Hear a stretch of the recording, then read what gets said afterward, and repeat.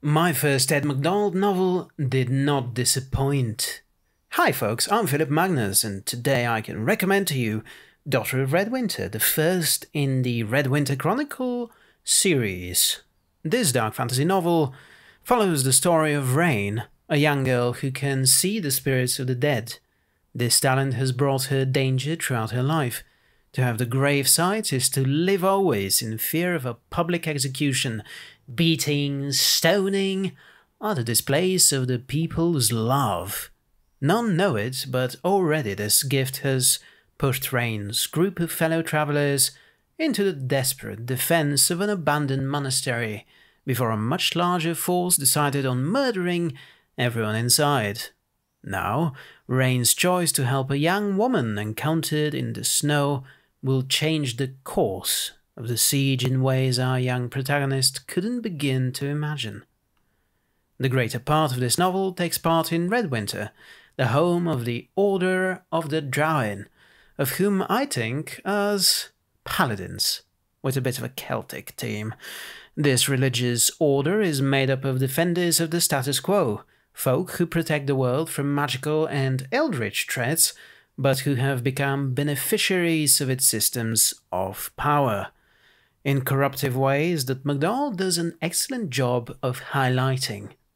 Which is to say that, outside of their capacity for great power, the Draoihn are no different from most groups of people. There are those among them who are disciplined and compassionate, temperate and heroic, larger than life. There are also many among them who are coddled, corrupt, cruel. Among the most skilled of the Draoihn is Ulovar, leader of the powerful LacNaithe clan. He is also Raine's benefactor and recognizes in her the capacity for an apprentice to the order. Yet Raine, despite having done Ulovar a great service, is forbidden from becoming apprentice to their order by Grand Master Robilar. Ulovar's moral code cannot permit him not to repay Raine for her service, however. The young woman is given the rank of retainer in his household, made a servant, and later initiated into the role of protector to Ovitus, one of the Draoihn's pampered apprentices and the heir to Ulovar's position as Van of the LacNaithes. It's a lot for anyone to deal with, not to mention that Raine is still hiding the secret of grave sight, a secret whose revelation would see her summarily executed by the Draoihn she desperately wants to belong with. Already, there are plenty of conflicts inherent in the tapestry of Redwinter that I've tried to encapsulate. Raine's situation gets even more complicated when an informal organization of people with grave sight makes contact with her. Initially benevolent seeming advice never stands easy either with Raine or the reader, and the unease only grows with their each further appearance. To that a spirit that acts nothing at all like a spirit, occasionally appearing to Raine and doing non-spirited things, like chatting her up or saving her life. And what you have is a gripping dark fantasy with a likable protagonist forced to contend with secrets and dividing loyalties aplenty. Raine's voice is funny, not in an irreverent way. There's gallows humour to spare here, but also plenty of topical observations. So, for example, when she mentions the soles of her ruined boots, I quote, You can never trust a cobbler. Anyone who spends that long thinking about feet has something wrong with them. Close quotes. Yet something happens early on in the novel that forces Raine to lose a part of herself, not her humour, but all her emotions, kept at a distance from her and so the character we meet at the beginning of the novel is in truth much different from the one we follow for the majority of Daughter of Redwinter, because someone, I quote, had cut through my mind as if with a blade, slicing away something that had once been a part of me. He had made me something else.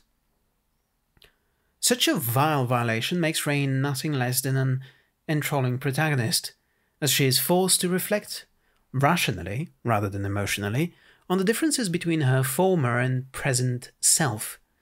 Some of the actions she takes are ruthless, going well beyond the pale. but as far as subject matter goes, this provides for excellent reading. I enjoyed reading about the younger members of the support cast as well, but there was a hint of young adult tropes to their characterization. Sanvaunt, the dashing model Draoihn, gives Raine the cold shoulder after an initial overture of friendship. While the reveal of his reasons behind this creates an interesting conflict for the sequel, I could have done without it. Maybe it's my own distaste for lack of communication born of propriety. But hey, it's been and continues to be the baseline for many social situations. So what do I know? My dislike is more born of the back and forth between Raine and Sanvaunt, yet I enjoyed both characters despite it. Take from that what you will. My biggest complaint part of the mystery around the central conflict is given away too early, made too obvious, and it's one of those moments when, if you're at all an attentive reader, you will see the answer before the protagonist does. That's rarely a good outcome. I spent a good third or even half of the novel waiting for Raine to catch up. She's not a stupid character by any means. She saw more clearly than others did. She recognized the pampered nature of the LacNaithe apprentices who have the opportunity to advance greatly by wielding the Draoihn's power, but have been made indolent by a sheltered life.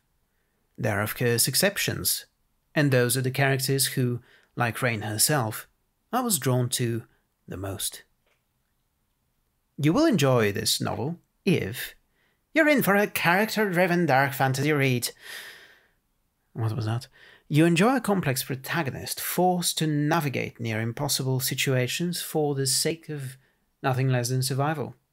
You have a love for corrupt magical orders whose members you will love and detest in equal measure.